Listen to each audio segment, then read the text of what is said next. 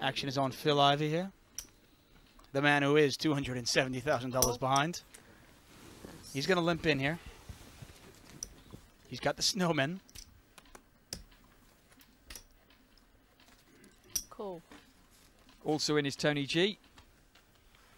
And He's got Queen 10 offsuit. Cool. That's going to bring Lederer in. with a 5-3 of hearts. Bit more creative. Alan's in as well. Pocket fours for Alan. Wow, six-handed. Few flops here that could get some people involved. 6-4 deuce. How about that flop for Howard Lederer? He has flopped the nuts, and we're going to get a monster here. Alan Cunningham has a set of fours. Howard Lederer has flopped the nuts. And let's not forget, Phil Ivey's got the overpair with the eights. Oh, this is going to be a doozy. Howard trying to work out how to play this hand. Alan sitting there with a set thinking he's in great shape.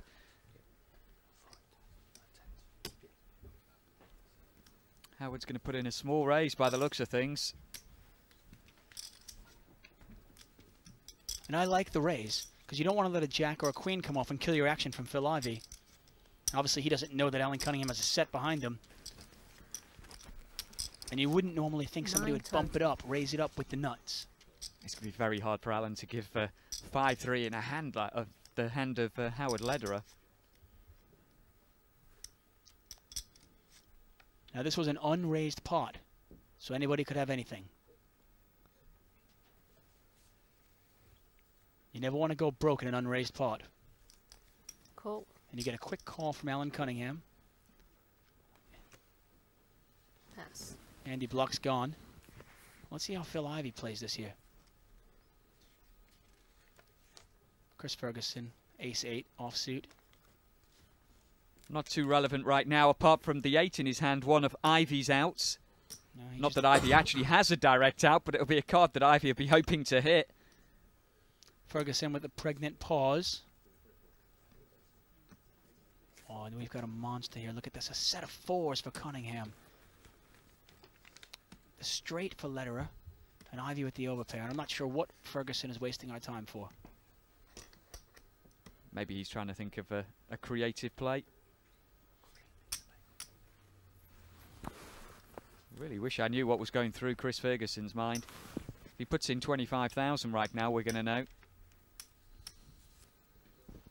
Does Chris Ferguson know he has cards?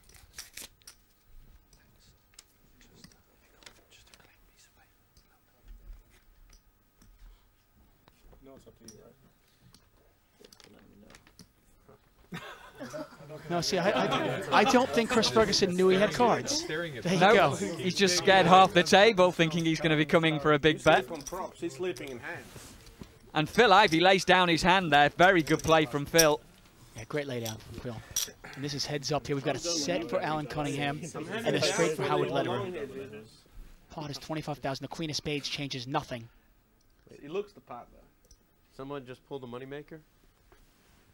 Just sitting there. To act. He has the stone turn. cold nuts right now. Moneymaker did that uh, the year he won, like earlier.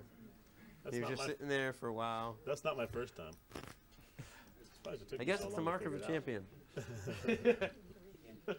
Obviously, a couple of hands out there that Alan Cunningham cannot is beat. He can't hand? beat a set of sixes, and he can't beat the 3-5. Maybe it's when Howard's Everything else, Back a little he's bit got. in frustration with it. I was Well, like, Can't imagine Howard Lederer has queens here. Not the way the hand played out pre-flop. There, Put me that in puts there. people- Pot is Some people 25,400. fear into them, their opponents. Other people drive sleep into them. And the professor trying to figure out what to do. Yeah, hypnotize them and forget that they even have cards.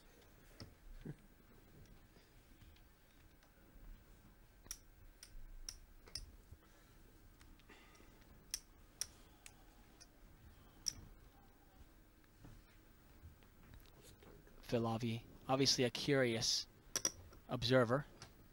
He threw away his eights. Alan watching. Check.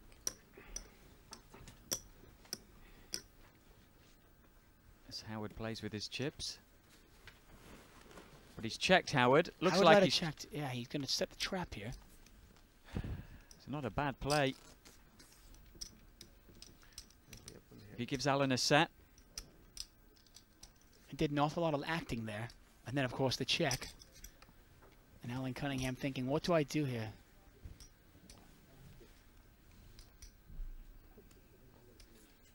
I'll tell you, if Alan Cunningham takes the card here, I won't believe that he can't see through the cards. And look at that, he checks. It's like he has a seventh sense. Wow, And look at that, and the river pairs the board. It's a deuce on the river. That's going to kill Lederer. Cunningham has the full house here now.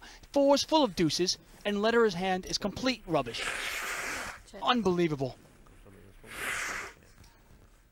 Oh, wow. Lederer is trying to get tricky on the turn, and he burns himself.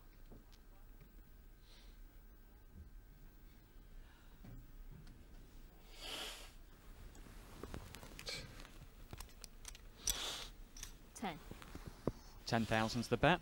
It's a small bet, 10000 into a $25,000 pot. I don't see how Lederer folds this. I think I think he's going to call, but I don't think he likes it. The only hand he can really give Alan on here is a set at the end of the day. It was six-handed to the flop. Alan's been pretty tight all day. But he feels like he has to make the call. He does.